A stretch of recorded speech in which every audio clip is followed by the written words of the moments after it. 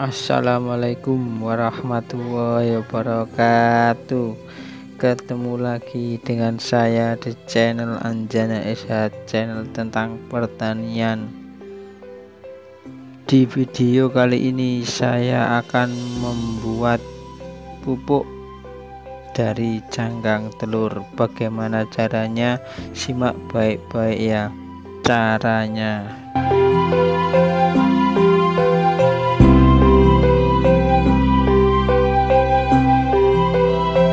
sebelum saya memproses bagaimana cara membuat pupuk dari cangkang telur ini saya terlebih dulu saya akan memberitahu kenapa saya memilih kulit cangkang telur.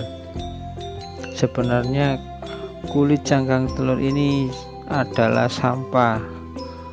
Sampah yang sering dibuang-buang saja. Makanya saya akan memanfaatkannya.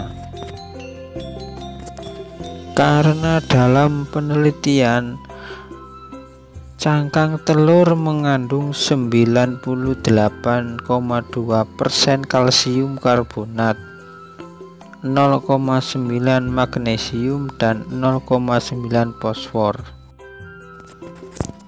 Cangkang telur karena mengandung kalsium karbonat yang tinggi maka sangat baik untuk nutrisi tanaman.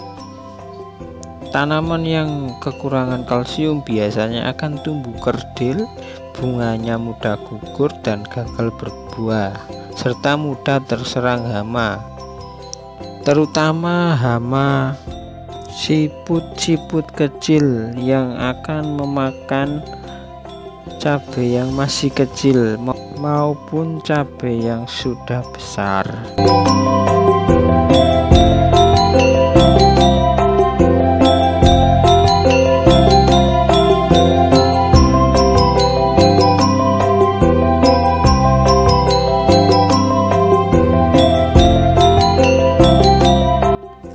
Contoh dari hama Bentuknya seperti ini, siput kecil yang memakan cabai yang masih kecil.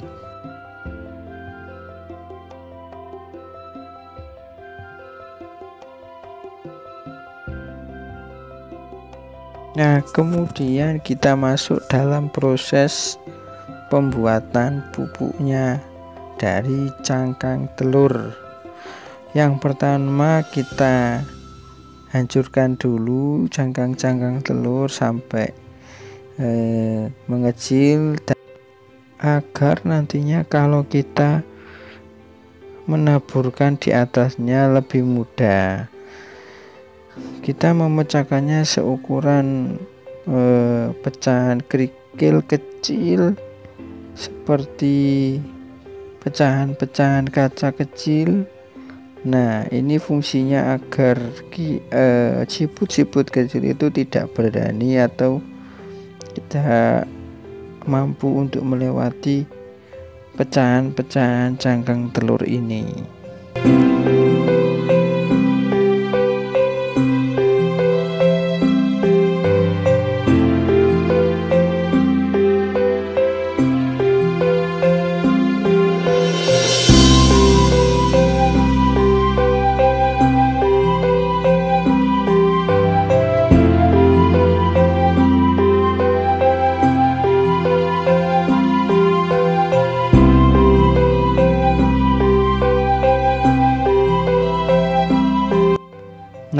Ini adalah hasil dari tadi kita tumbuk-tumbuk kita lumat-lumat ya.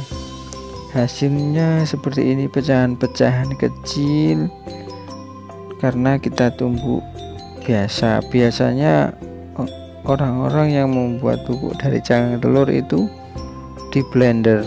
Tapi saya kurang suka karena kalau di blender itu jadi serbuk serbu halus jadinya tidak bisa untuk menghalang hama keong-keong kecil itu. Nah ini cara untuk menaburkannya. Kita taburkan di atasnya saja. Seperti kita memupuk uh, pupuk yang lain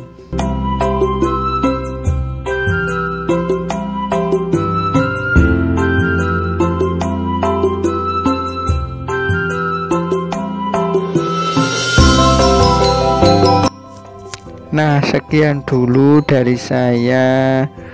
Jangan lupa like, share, komen video ini. Dan jangan lupa di subscribe sekian dulu nantikan video selanjutnya. Wassalamualaikum warahmatullahi wabarakatuh